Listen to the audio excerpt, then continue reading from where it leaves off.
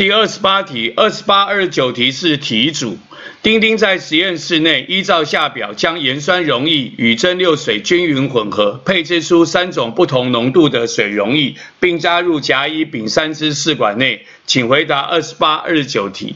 第二十八题是我们说甲、乙、丙三支试管中的溶液，何者之 pH 值应最小？pH 值就是氢离子浓度，氢离子浓度如果越大，pH 值就越小。我们的盐酸是强酸，它会完全解离，所以盐酸的的浓度如果越大，就代表氢浓度会越大。也就是 pH 值会越小，我们的三杯原来的盐酸溶液的体积都一样多，我们加入蒸馏水的体积也一样多，所以就是说，如果我们原来的盐酸的浓度越浓，那么它稀释后的结果的浓度也就是越浓。那么盐酸盐度越浓，就代表氢浓度越大，就代表 pH 值越小。我们发现我们的丙试管它原来的浓度是最大的，所以它最后稀释出了结果的 pH 值会最小。